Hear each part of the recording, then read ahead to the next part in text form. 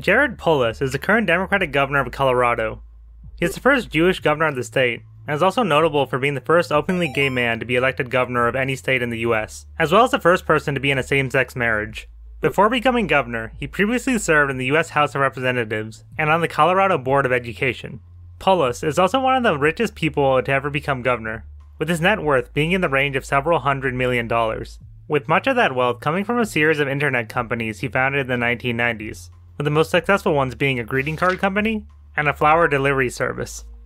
And over the past two decades, Polis, along with three other wealthy Coloradans, have used their wealth to support the Colorado Democratic Party and help promote progressive legislation in the state, with a group of donors being locally known as the Gang of Four, due to their influence on local politics.